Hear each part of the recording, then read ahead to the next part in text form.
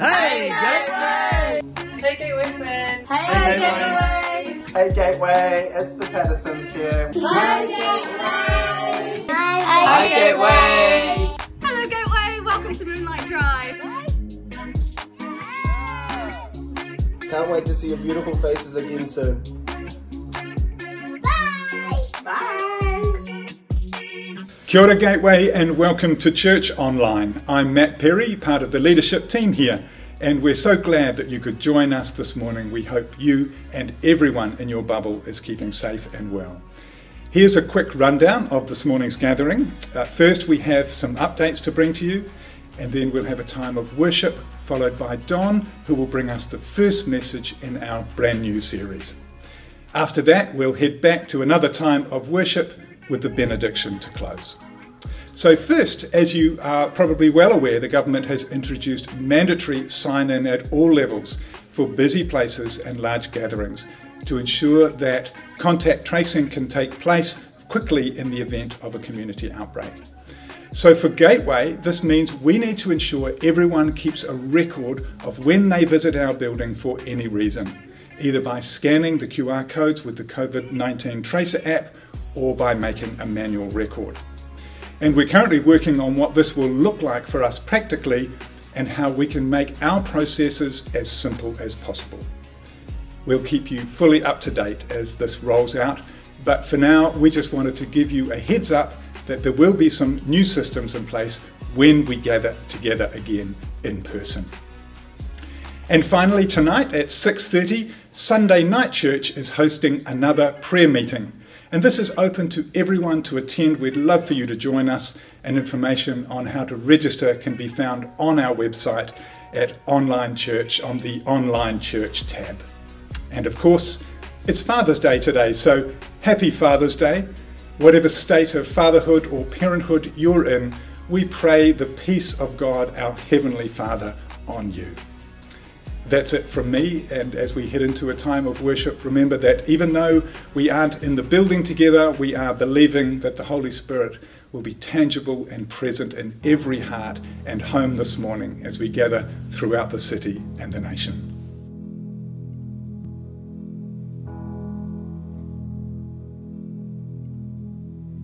So bless the Lord, oh my soul,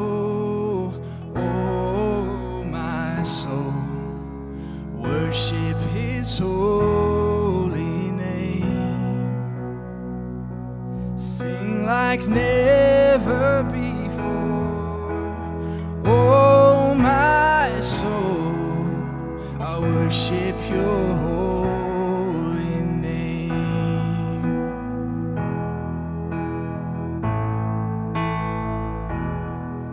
The sun comes up, it's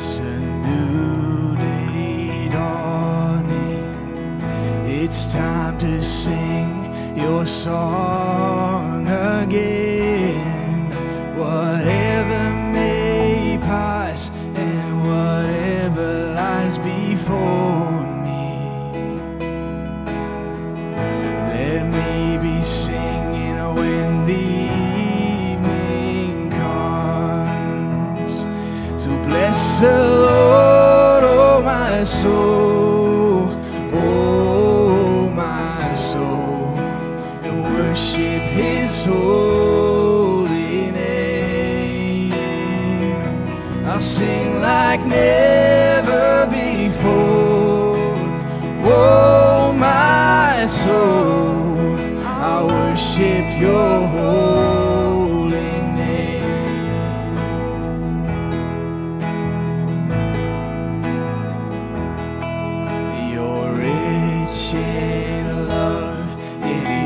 slow to anger. Your name is great, and your heart is kind. For all your goodness, I will keep on singing.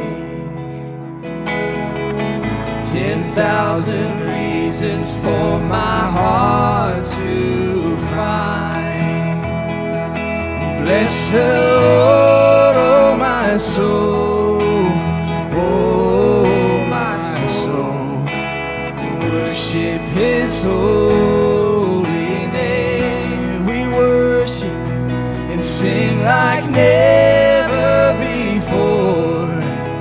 Oh my soul, I worship Your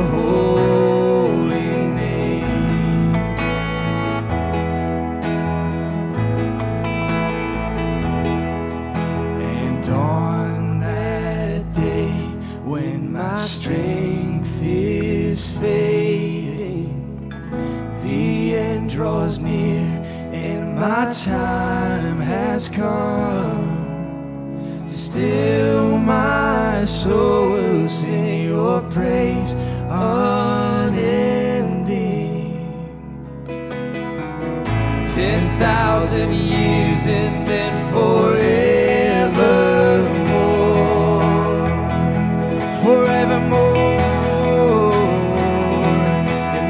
the Lord, oh my soul,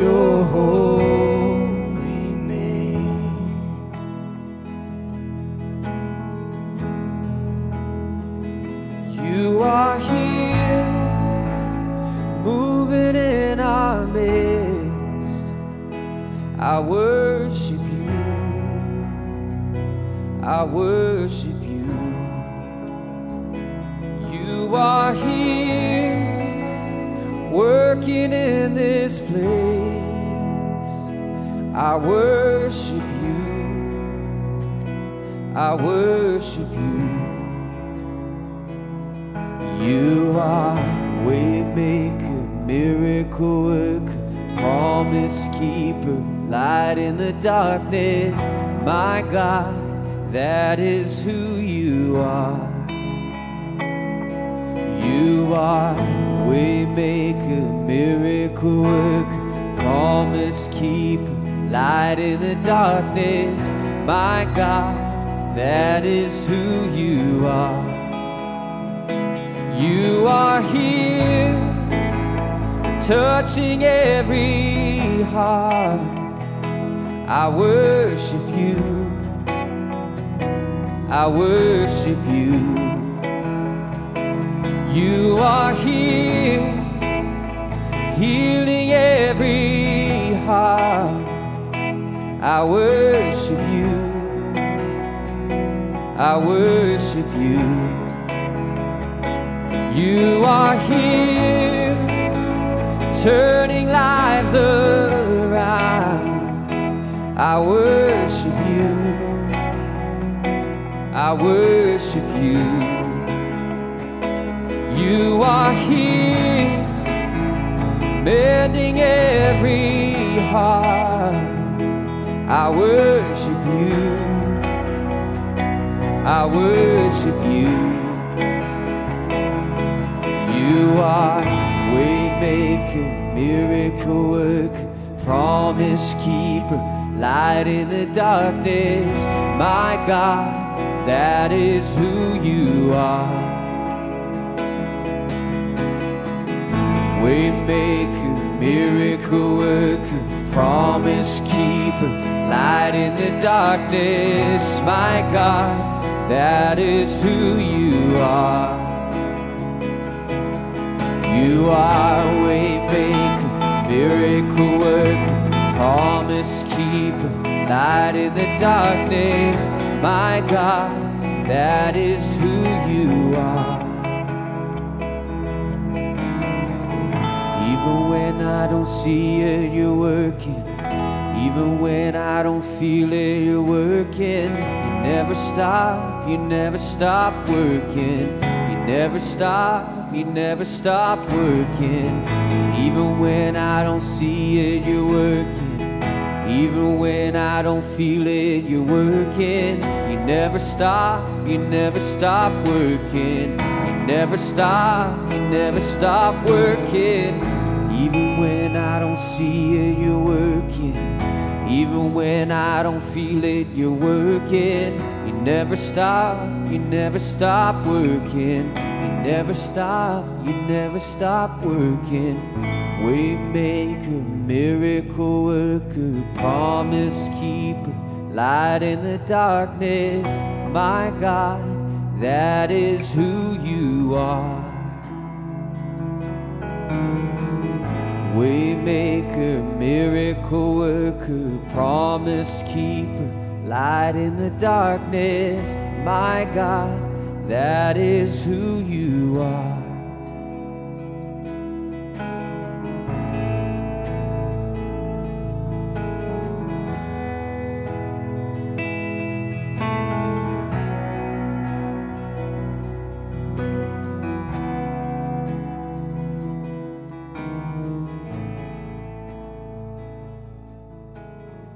Great to be with you again. Um, so sorry it's not in person, but uh, this is the very next best thing. Over the next couple of weeks, I want to tackle a subject. We're not going to cover all of it by any means, but just looking at the question can the scriptures be trusted? Over the past few years, I've been deeply disturbed by the number of people, including well known celebrities, and not a few, not, there's been a few from even our own faith community, who have come out and publicly announced that they've deconverted. Deconversion is the fashionable and euphemistic term for what the ancients called apostasy, the betrayal of one's baptismal vows. More recently, in colloquial language, we've called it backsliding. Having read a number of these deconversion stories, I've noticed a common thread in the journeys is a loss of faith in the scriptures. At some point in time, these people have engaged with enlightened writers who raised serious questions about the Bible's reliability and trustworthiness, and these folk had simply no answers for these deep questions.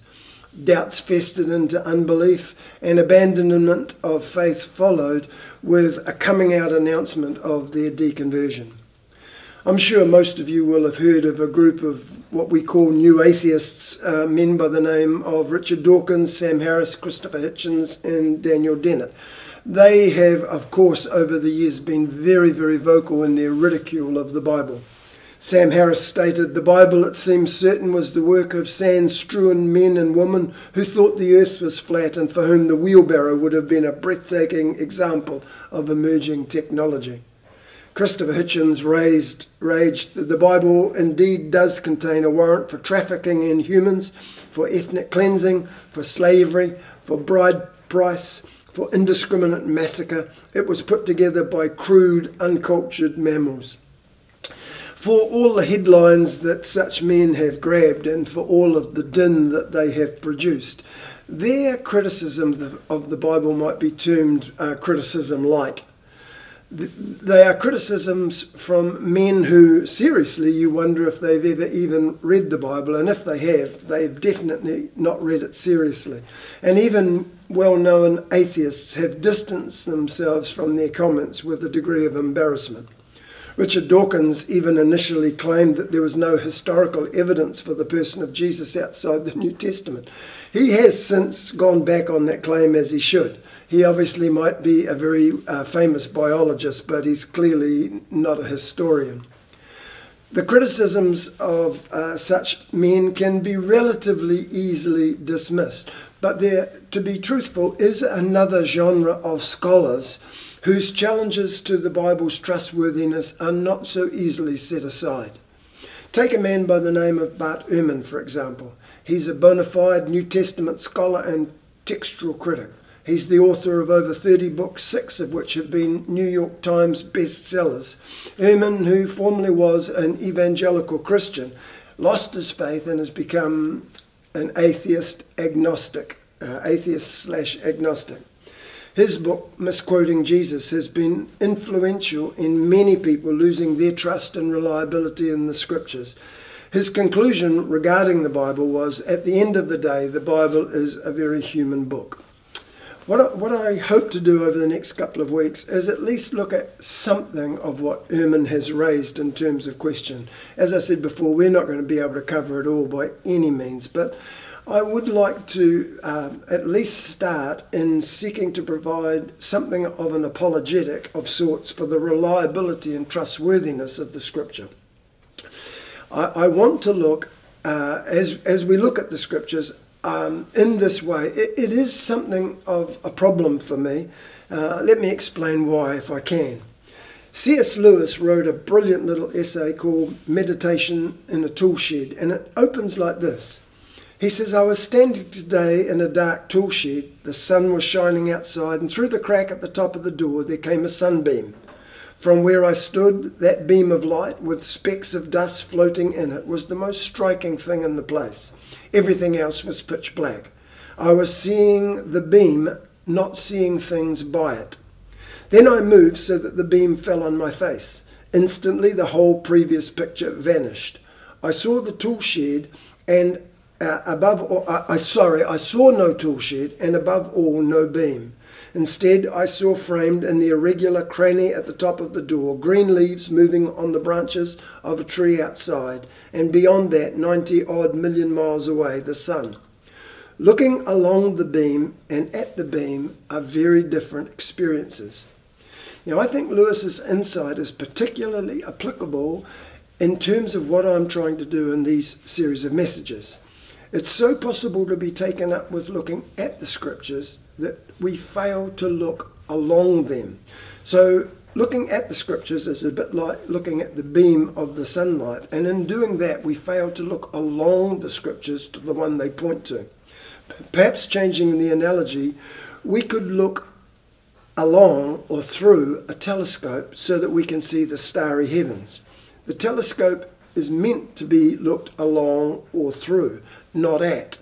When you look at, at the telescope, you may well have missed the whole point of the exercise. Now, looking at the telescope might be needed if there are adjustments that are required, but if we never look along it or through it, then we've missed the whole point and its existence has been lost to us. Like the telescope, the Bible is meant to be an end, uh, oh, sorry, a means to an end and not the end itself. Scriptures don't exist to provide information to be analysed, scrutinised, or critiqued.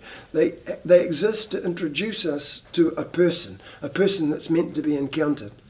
The Bible is not primarily about information that needs to be absorbed, but a personality that needs to be known and steeped in. Having said that, we are going to do a couple of messages that are looking at the Bible. But we must remember this looking at the Bible is never the end goal. If you need to adjust the telescope, you do so, but don't fail to look along it to see all that it can and will disclose. So, with that caveat, let's look at the Bible. For over 2,000 years, Christians have been guided in their faith and their practice by the teachings of Holy Scripture. In its pages, we believe that we get to understand who God is and what He requires of us. The Westminster Confession of 1646 says the Scripture gives us the whole counsel of God concerning all things necessary for His own glory, for man's salvation, faith, and life. When we claim, as we do, that the Bible is divinely inspired, we are claiming that it has its ultimate source in God. Not merely that it's a human book inspired in the same way that we might say Shakespeare is inspired. We're claiming that it is a written record from God. It is divinely authoritative so that when the Bible speaks, God speaks. The Bible makes this claim for itself, most clearly in passages like 2 Timothy 3 16 and 17, where it says, All scripture is given by the inspiration of God and is profitable for doctrine, for reproof, for correction, for instruction in righteousness, that the man of God may be perfect, thoroughly furnished in and unto all good works. The word inspiration there literally means it's God breathed. All scripture is God breathed. 2, 2 uh, Peter chapter 1 verse 20 says, knowing this first of all, that no prophecy of scripture comes from someone's own interpretation. For no prophecy was ever produced by the will of man, but God's but men spoke from God as they were carried along by the Holy Spirit. The word carried along is the idea of being borne along, as a sailing ship would be borne along by the wind. Now, when we talk about the scripture being inspired and men being borne along by the Spirit, it doesn't mean that God mechanically dictated the words to these human puppet authors, something like the occult equivalent of automatic writing. We believe that God providentially prepared human writers through their upbringing, through their education, through their life experiences, so that when they wrote the scripture, it was their own words, their own style, yet God inspired them and breathed on them so that what they, what, what they wrote really was from God. Theolo- theologians call that concursive inspiration. Perhaps a very uh, poor analogy might be something like the incarnation of Christ, where we know Jesus was truly God and truly man. In some respect, though lesser than, the scriptures are truly God's word, truly God and yet truly man. God doesn't reject the human personalities of the people who wrote the scriptures. He rather clothed himself, himself with their humanity. He uses Luke's uh, understanding and knowledge of medicine and love of history, and he weaves them together into the sacred text. Matthew, the tax collector, uh, was a tax collector. You, you read, as you read his gospel, it's easy to see his gifts and his former vocation shining through. While Mark and Luke and John all reference money in their gospel, they speak of mites and pennies and farthings.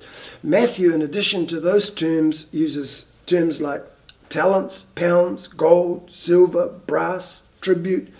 He uses the terminology that reveals a profound familiarity with the world of finances, with debts, and with money changes.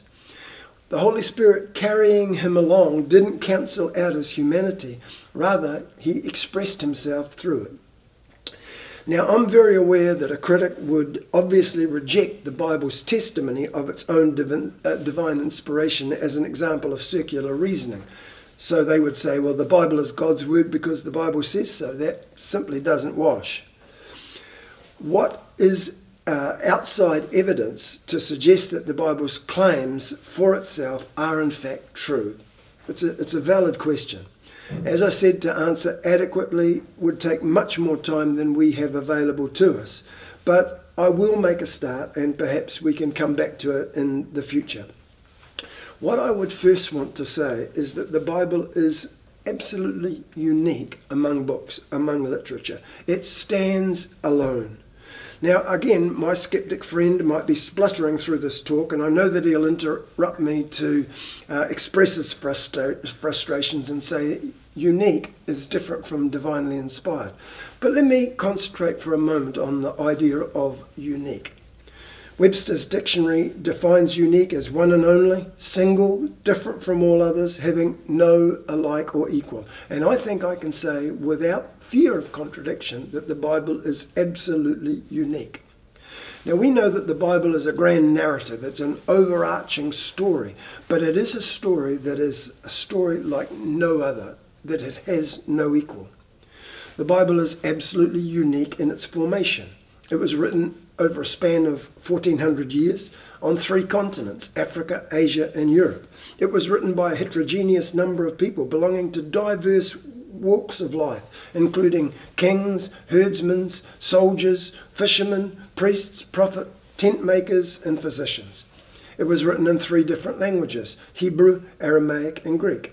It was written in different genres, including poetry, history, personal correspondence, and as apocalyptic literature. Its subject matter contains hundreds of controversial subjects, and yet its authors speak with a harmony and agreement that is astounding. You imagine just taking 10 authors from our modern era, not 40, take them from just one walk of life, one generation, one geographical area and one language and give them one controversial subject and try and get them to speak on harmony and human, unity. Um, I, I would wish you the best of luck on that one. The Bible, secondly, is absolutely unique in its circulation. The Bible has been read by more people and has been published in more languages than any other book in history. The Guinness Book of Records records it as the best selling book of all time with over 5 billion copies sold and distributed. At one point in their history, the British uh, and Foreign Bible Society claimed that in order to, meet, to meet the demands of the Bible, they needed to produce a Bible every second, day and night, 24 7. Now, I know my skeptic friend would say all of what you've just said might be true, but it doesn't prove it's God's word. And of course, he's right.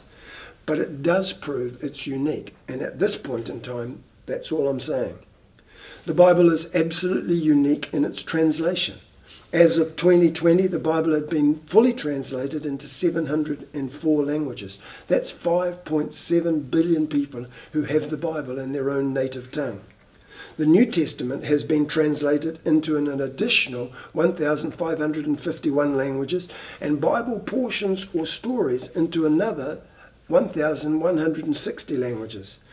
Now, there are 6,909 recognized languages in the world, so that leaves about 1,100 languages for the Bible yet to be translated into so that people can have it in its native tongue.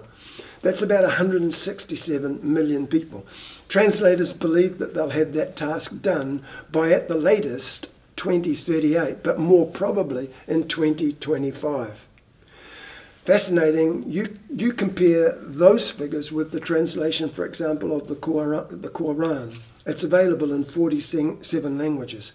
Of course, there's no hurry to publish the Quran in other languages because Muslims believe that God's word can really only be understood and read in Arabic. The Bible is unique in its survival through intense persecution and criticism. The Bible has withstood vicious attacks from people opposed to it like no other books have.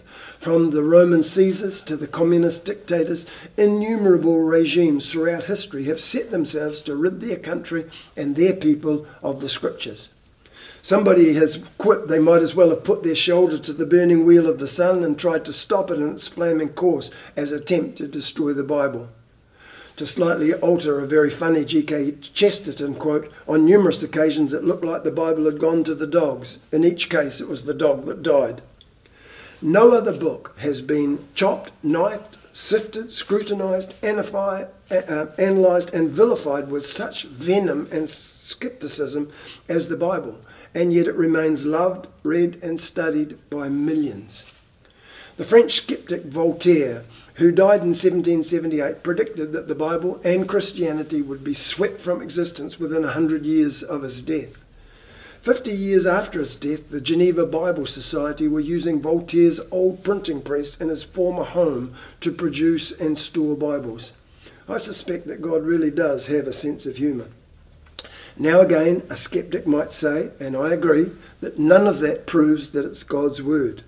My point is simply that the Bible is absolutely unique. The Bible is unique in its impact on Western civilization. It has been unquestionably the central foundational influence on Western culture. Its stories, its images, its conceptual patterns, its turns of phrases permeate Western culture from top to bottom. There's not one aspect of Western civilization that its impact cannot be detected in, from law to politics, from art to music, from economics to education. Excuse me. you imagine how bereft Western civilization would be without the Bible's influence, for example, in English literature.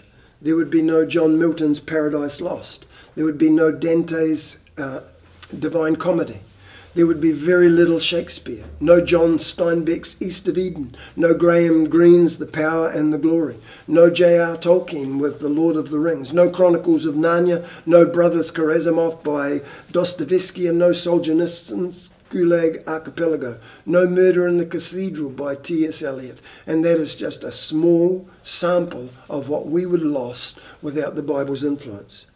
Music would be absolutely impoverished. No Bach, no Handel, Mozart, Beethoven, Liszt, or Mendelssohn. No Bob Dylan, although, mind you, Karen might want to suggest that it wouldn't actually be a bad thing. But no Bono, no U2. Imagine the art world without the influence of the Bible. No Da Vinci's Last Supper. No Rembrandt's The Return of the Prodigal Son. No Michelangelo's Creation of Adam. No Raphael's Transfiguration. No Salvador Dali's Christ of St. John of the Cross. Now, my skeptic friend is saying, Stop it. I concede that the Bible has influenced in, in Western society and, and maybe it is even unique.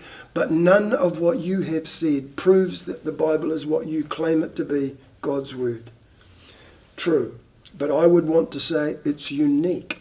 And given what we've considered to this point, you might want to ask, why is it so remarkable? Why is it such one of a kind book? Skeptics have gone on to say it's full of mistakes and contradictions and it should not be trusted. And what I'd like to do next week is start to look briefly at some of those claims and see if there's not an answer to them so that we can retain our, our sense of trust in, in the fact that the Bible remains reliable and, and is in fact God's Word.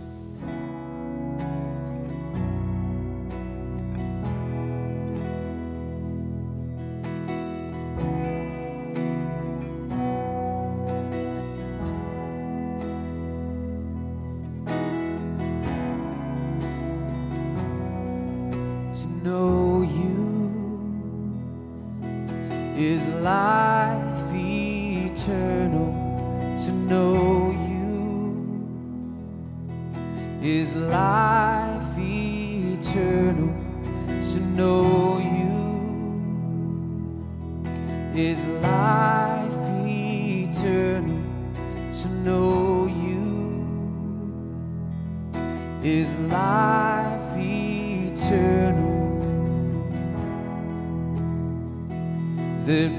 my joy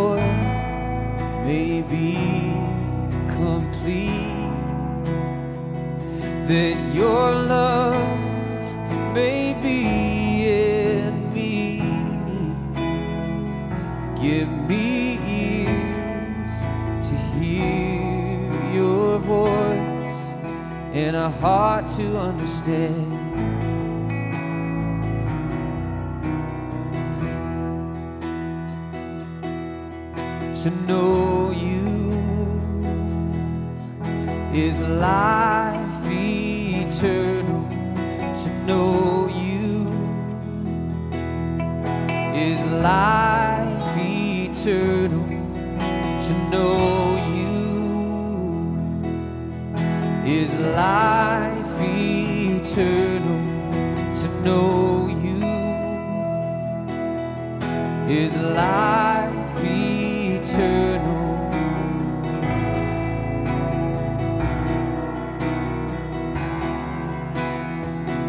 That my joy may be complete. That your love may be in me. Give me ears to hear your voice and a heart to understand.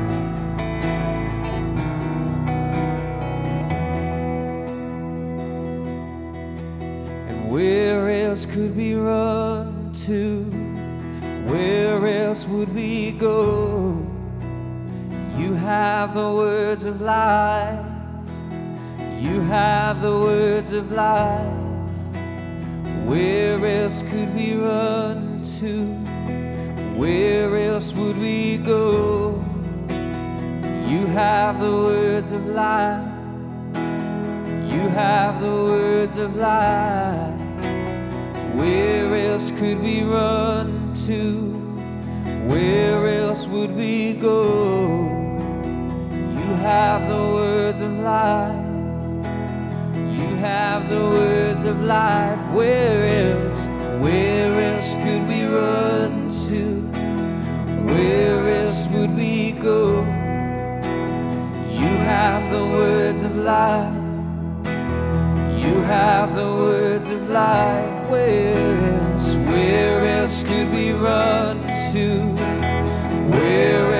we go? You have the words of life. You have the words of life. That my joy may be complete. That your love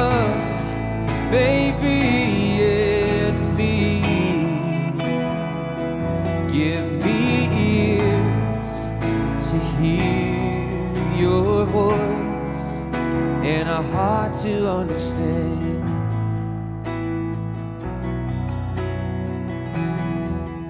And a heart to understand.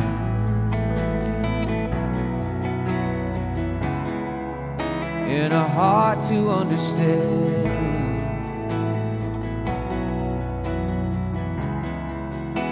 To know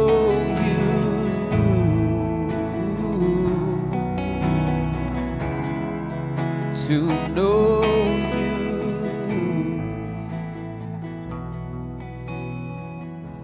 As we close, please raise your hands and allow me the privilege of speaking the blessing of Numbers 6 over you and your families.